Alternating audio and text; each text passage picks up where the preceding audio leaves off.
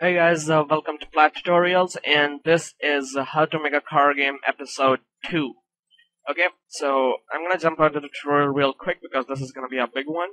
Alright, so first what we're gonna do is we're gonna add some good look to the scene, and then we're gonna add some good look to the car, and we're gonna add some wheel colliders to the tire so that it won't gonna um, fall through the uh, floors. Okay, so in order to do that, what you gotta do is to uh, is to add some texture to the terrain. So uh, what you have to do is to select, uh, click on the terrain and go to this paintbrush icon, click on it, and then go edit texture, add texture, and then uh, click on this circular icon, the small circular icon, then select uh, texture that you want. I want this wood dirt thing, and you can select the tile offset of it, but uh, I don't want to set it up. I'm just gonna leave that right there.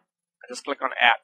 Right, so you can see that it added a seamless texture to the uh, to the surface and uh, to the terrain. And now what we have to do is to add a skybox to the uh, to the workspace. Again, so just go to edit, render settings, and here you can see you can add a skybox material to it. You can assign it. Okay, so we have some presets of skyboxes over here. So we're gonna drag the Sunny Kiss skybox up here. All right, you can see that it added it added a skybox to the scene. Alright, so Skybox materials consist of six panorama images.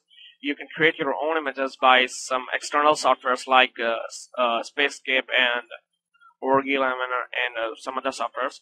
I am not aware of that much. Okay, now let's add some good look to the car.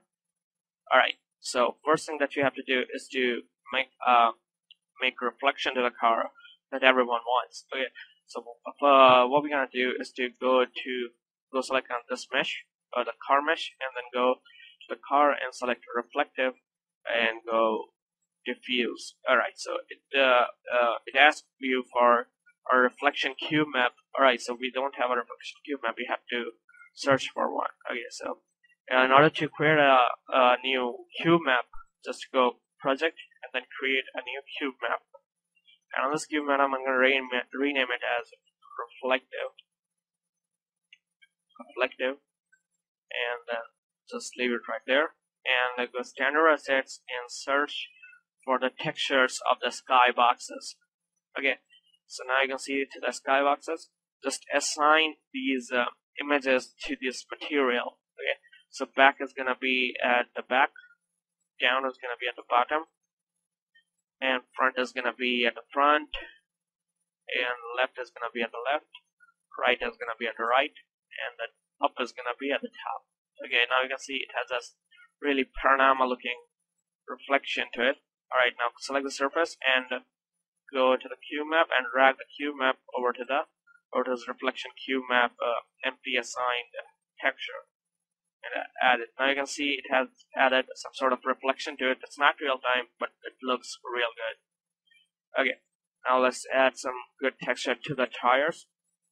Now select uh, one tire and then click on the texture of it. Now duplicate that texture by clicking Control D on your keyboard. And it's to take a while. Alright, now rename this texture to no, wheel norm. Now wheel norm means the normal map of the wheel. Now we're going to convert this to normal map, go to the texture and make it normal map. Uh, Alright, now apply it. Again I'll go over here uh, and then select the uh, let's say bump to diffuse and drag this wheel to it alright you can see that it have added a bit more depth to it. Alright that's what we want. And I know it's not good because the wheel's not that detailed but uh, it looks pretty cool. Alright let's go over here. Now let's add wheel colliders to our game. Okay so in order to do that what you're gonna do is to select all the wheel colliders except for one and delete them. Alright now you can see that we have only one wheel wheel here and select that wheel uh, and delete all the all and rename it to just wheel okay? Now uh, click on the wheel and press F on the keyboard in order to zoom in and then go game objects create empty and this object will gonna uh, will gonna be created in between in the very center of this wheel collider. So this will gonna fix the rotation of the wheel. So you have to do this. It's really important. Okay, so name it as wheel FL means front left. Oh my god. Means front left FL front left and drag this inside of the car and put the wheel inside of this wheel FL. Okay. Then what we have to do is to duplicate this wheel and go into the Z uh, orthographic view and put this right over here and then go inside of that thing and then select the wheel mesh and turn it about 180 degrees. Okay. It's gonna be like this. So it's gonna be 180 over here. And let's see, is it in front of it? Yeah, is in front of it. Alright, now what we have to do next is uh, we have these two wheels and this wheel is going to be renamed as wheel FR means front right and then we're going to go over here and then we're going to duplicate both of them and uh, we're going to press Ctrl D to duplicate and then we're going to drag them at the real back of the car and I'm going to rename it to RL means rear left and this one as rear right. Rear right. Right now you can see we have uh, wheels assigned to everywhere we want.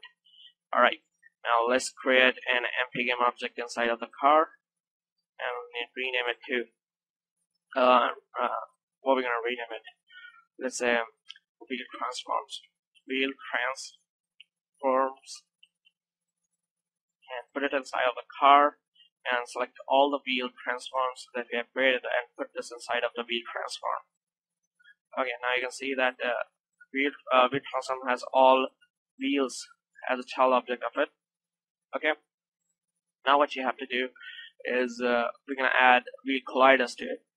Okay, so uh, we're gonna create, we're gonna press F on the keyboard by selecting the car and create an empty game object inside of the car and rename it to wheel colliders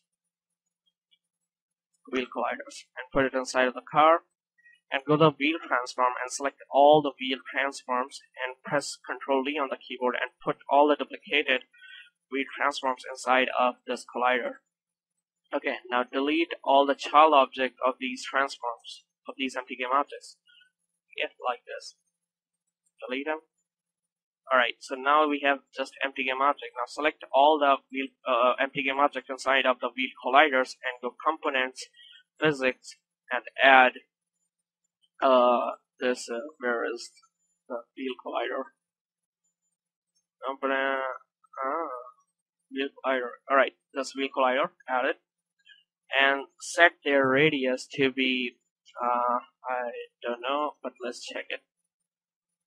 Okay, now set the radius to be about 0 0.4. You know, 0 0.39 would be good. Or 0 0.4 would be good. Alright. Now add 0 0.4. Now this time when we're gonna uh, run the game, the car won't, uh, the tire won't gonna fall through the uh, surface. So let's test it. Alright. Uh, now you can see that the car, uh, that the car uh, tires are stay at this position. So that's what we want. And in the next tutorial, we're gonna add uh, uh, movement to the car through through by using these wheel colliders, and uh, uh, and we're gonna touch scripting in that part uh, into the next part. We're gonna add realistic movement to the car by a script. So till then, goodbye, and keep making games and do all that good stuff. Subscribe to me, comment, like, do whatever you do, and thanks guys for watching this. And uh, yeah